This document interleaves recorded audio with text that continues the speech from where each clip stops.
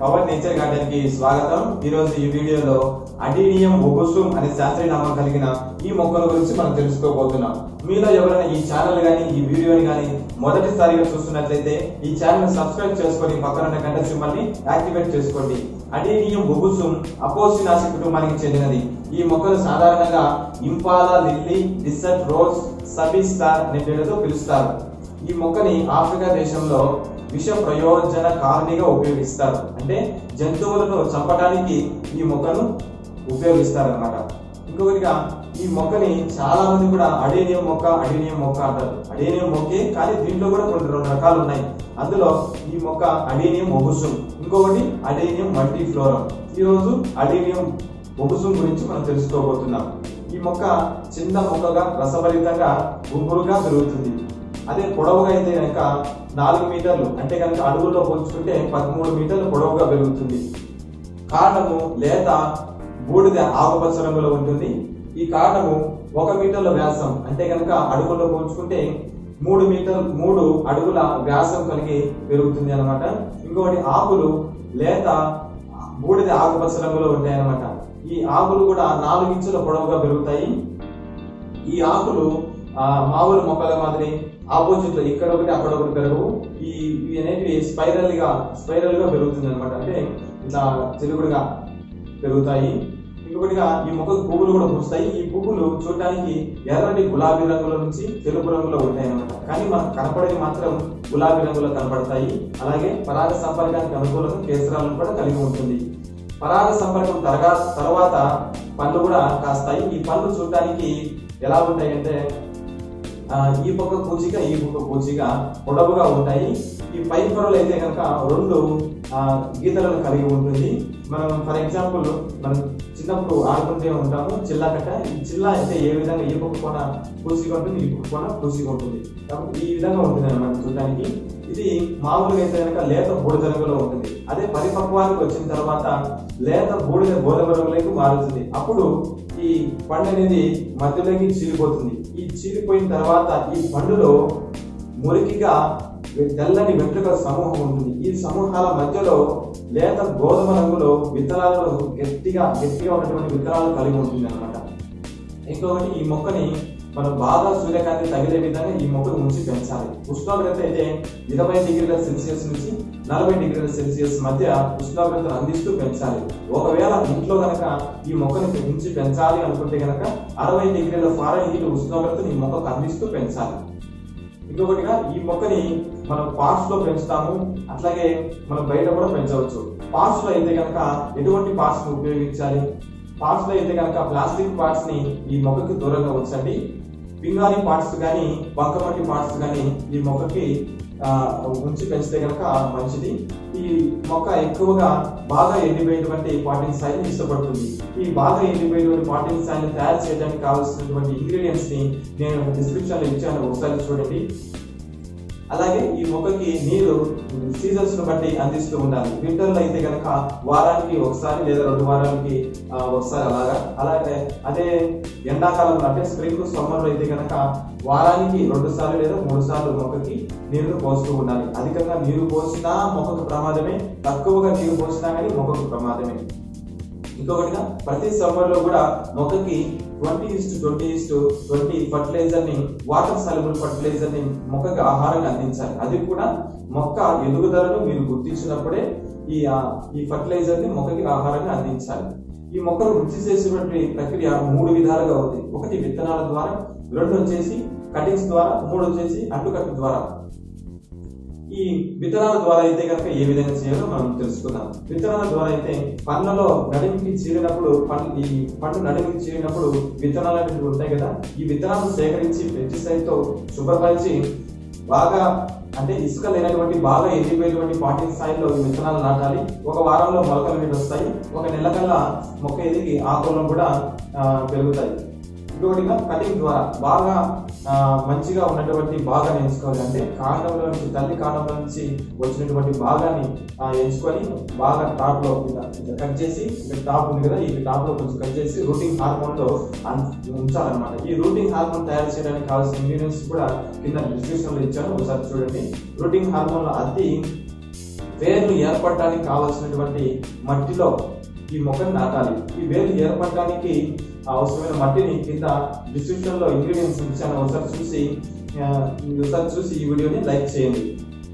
ఆ మట్టిలో నాటి ఈ మొక్కను పెంచినట్లయితే ఒక కొన్ని వారాల్లోనే వేర్లు అనేవి ఏర్పడతాయి అన్నమాట ఇంకొకటిగా ఈ కటింగ్ పద్ధతిని మొదలు పెట్టడానికి ముందు మొక్కకి నీరును పోయకూడదు అలాగే ఆ సాయిల్కి కూడా నీరును అందించకూడదు. అంటే ఏ సాయిల్ అంటే కనుక మనం తయారు చేసుకున్నాం కదా ఈ వేరు ఏర్పడడానికి కావాల్సినటువంటి సాయిల్ తయారు చేసుకున్నాం కదా ఆ సాయిల్కి నీరును అందించకూడదు అలాగే ఒక వారం పాటు కూడా మొక్కకు కూడా నీరును అందించకూడదు. ఆ తర్వాత మొక్కని మనం కట్ చేసి తర్వాత ఆ సాయిల్ నాటి మొ- మన తర్వాత వేరు ఏర్పడ్డాక నీళ్ళు అనేవి మనం వేస్తే కనుక మొక్క ఏర్పడతాయి. ఇంకొకటి అంటుకట్టు పద్ధతి ద్వారా. అంటుకట్టడానికి ఈ పద్ధతి ద్వారా మొక్కను వృద్ధి చాలా అనుభవం కావాలి. ఎందుకంటే ఏ పద్ధతి అంటే ఏ మొక్కనంటే ఆ మొక్క ద్వారా అంటుకట్టే కనుక మనకు పువ్వులు ఏర్పడవు మొక్క కూడా రాదన్నమాట. కాబట్టి మనం దానికి నైపుణ్యం అనేది ఉండాలి. ఇంకొకటిగా ఈ మొక్కకు అయితే కనుక మనం అడ్డు పెట్టడం ఏ మొక్కకు సరిగా ఉంటుంది అంటే కనుక గన్నేరు చెట్టు. మీరు చూసే ఉంటారు తెల్ల గన్నేరు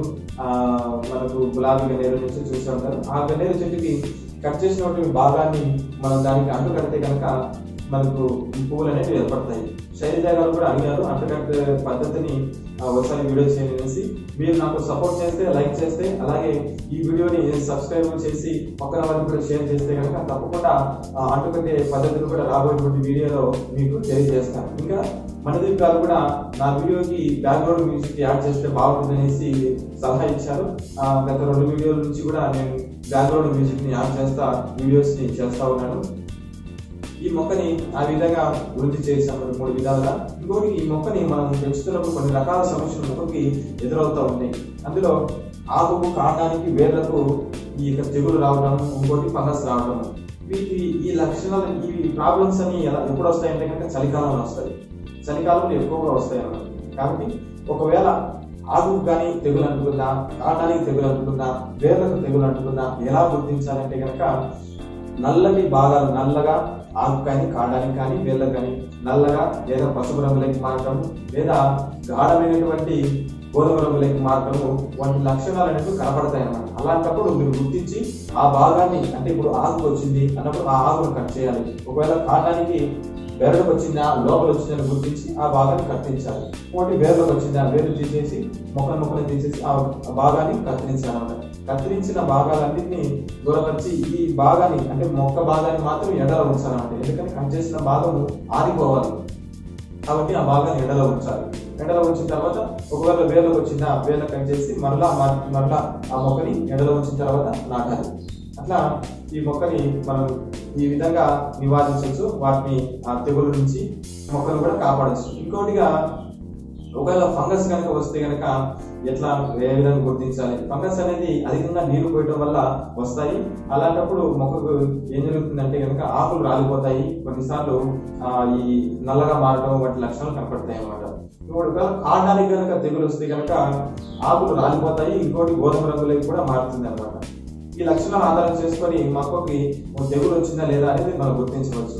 ఈ తెగులు రావడానికి గల కారణాలు ఏంటంటే కనుక ఇది చూసాం కదా అధికంగా నీరు రా నీరు పోయటం వల్ల. ఇంకొకటిగా మనం చలికాలంలో మొక్క కేర్ తీసుకోకపోవడం వల్ల ఈ సమస్యలు అనేవి తలెత్తుతాయి. ఇవి వీటిని ఈ సమస్యలు తలెత్తనివ్వడానికి కొన్ని ఉన్నాయన్నమాట. అవి ఏంటంటే కనుక మన స్పైడర్ పురుగులు ఉంటాయి సాలీడు పురుగులు అలాగే పిండి నల్లి పులుసు పురుగులు. వీటి ఇవే ఈ మొక్కకి ఇలాంటి లక్షణాలు తీసుకొస్తాయి ఇలాంటి ప్రాబ్లమ్స్ కూడా ఇవే తలెత్తని ఇస్తాయి అన్నమాట ఇంకోటి వీటిని నివారించాలంటే ఏ విధంగా అంటే కనుక ఆలుగా హాల్లో అద్దినటువంటి కాటన్ కాటన్ బాల్స్ని ఒకవేళ ఆకు కనుక వస్తే కనుక వాటి మీద ఉండి వాటిని ఇంటి మొక్క కాపాడవచ్చు. ఒకవేళ కాండానికి వస్తే కనుక కాండానికి కానీ ఓపుకుంటే కనుక రుద్దండి లేదా వేర్లకు వస్తే కనుక మనం ఆల్కహాల్ పోసినట్లయితే కనుక సరిపోతుంది. ఒకవేళ ఎక్కువగా ఉంటే కనుక ఆకులు కనుక ఎక్కువగా వచ్చి ఉంటే కనుక స్ప్రే చేసినా కానీ సరిపోతుంది. ఈ విధంగా మొక్కని వాటి నుంచి మనం కాపాడవచ్చు. ఇంకొకటిగా ఈ మొక్కని మనం మనం పెంచుతున్నప్పుడు కొన్ని జాగ్రత్తలు తీసుకోవాలి. ఈ మొక్క యొక్క రసం కానీ పాలు కానీ పిల్లలకు కానీ మనుషులకు కానీ పెంపుడు జంతువులు కానీ విషపూరితం. ఒకవేళ ఇది చర్మం మీద పడితే కనుక దొరదలు వస్తాయి. ఒకవేళ తీసుకుంటే కనుక కడుపులో నొప్పి అలాగే కడుపు తిప్పడము సుస్థి రావడము అలాగే కొన్నిసార్లు బీపీ డౌన్ అవ్వడము హార్ట్ రేట్ కూడా డౌన్ అవ్వడము వంటి లక్షణాలు కనబడతాయి. కాబట్టి మీలో మీ ఫ్రెండ్స్ కానీ బంధువులు కానీ ఎవరైనా ఈ మొక్కలు పెంచుతూ ఉండొచ్చు. ఈ వీడియో కనుక మీరు వారికి షేర్ చేసినట్లయితే కనుక వాళ్ళు పెంచినా పెంచకపోయినా మీరు ఈ వీడియోని షేర్ చేయండి. వారు ఈ ఈ మొక్కలు పెంచుతున్నప్పుడు ఈ మొక్క నుంచి వారు కొంచెం జాగ్రత్త పడతారు అనమాట ఇంకోటి ఈ మొక్క గురించి వారికి తెలియజేసినట్టుగా ఉంటుంది. ఈ మొక్క వల్ల చాలా రకాల ఉపయోగాలు ఉన్నాయి ఈ ఈ మొక్క యొక్క ఆకులను అలాగే బెరడును డికాషన్గా ఉపయోగించి చేపల విష విషాన్ని కూడా చేపల విషయంగా ఉపయోగిస్తారు అన్నమాట. ఇంకొకటిగా అలాగే ఈ మొక్కలు కొన్ని రకాల వాటికి ఉపయోగిస్తారు అంటే కనుక బొబ్బలను తగ్గించడానికి కాలిన గాయాలకు అలాగే తలలో పేర్లను తీసేయడానికి అంటే పళ్ళు పేర్లను పోగొట్టడానికి కాళ్ళ అరికాలకు అరికాలకు ఉపయోగిస్తారు. అలాగే పశువులకు కానీ ఒంటెలకు కానీ చర్మంపై పరాణ జీవులు ఉంటాయి. ఈ పరాణ జీవులను చంపడానికి ఈ యొక్క మొక్క రసాన్ని అలాగే పాలను ఉపయోగిస్తారు. ఈ మొక్కని మనం రీపాటింగ్ కూడా చేసుకోవచ్చు అలాగే ప్రూనింగ్ కూడా చేయొచ్చు. ప్రూనింగ్ ద్వారా అయితే కనుక ఆ మొక్కని ఒక మంచి షేప్లో బోన్సాయి మొక్కకు కూడా తయారు చేయవచ్చు. అయితే ఈ మొక్కని మన ఇంట్లో కనుక అంటే వరటాల కనుక మధ్యలో సెంటర్ ఆఫ్ అట్రాక్షన్గా ఈ మొక్కను ఉంచి పెంచినట్లయితే ప్రతి మొక్కని కూడా అట్రాక్ట్ చేస్తుంది. దట్స్ ఈ వీడియోని మీరు చివరి వరకు చూసినందుకు నా హృదయపూర్వక ధన్యవాదాలు. మరి ఈ వీడియోని మీ బంధువులకు స్నేహితులకు తోబుట్టువులకు షేర్ చేయండి.